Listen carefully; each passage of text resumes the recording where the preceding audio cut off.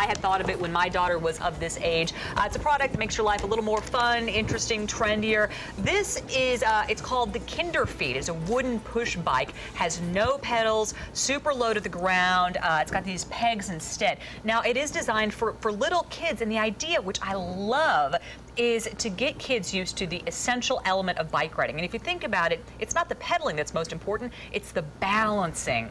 And that's why there's this whole movement out there that I didn't know till it was too late to get kids on these little kind of balancy bikes before they get training wheels so they never have to rely on training wheels. Here's uh, Sammy Russo, who is 18 months old, former producer Allison there. You know, they brought the boy into the studio, could barely get him off the bike. He was having so much fun. And so, Sammy, don't worry, it's on the way. And I have to say, I took this out of the box. It did come in a couple different pieces. It was super easy was to it? make. And one of the things I think is really cool is this green right here is actually chalkboard paint. No kidding. So you could write your kid's name, you could have your kid decorate it, right. you can wipe it right off and keep doing it. It comes in different colors, not just the green.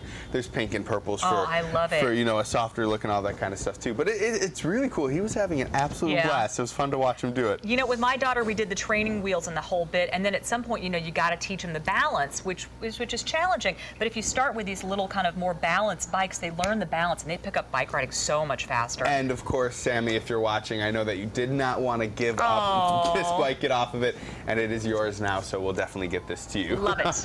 all right. Well, changing from our Friday find to Zip Trip Week, we ended Zip Trip Week today. It was an absolute blast. So now, why not end on a zip trip that's going to have your whole family talking? From arts to adventure, let's head out to Chautauqua Lake.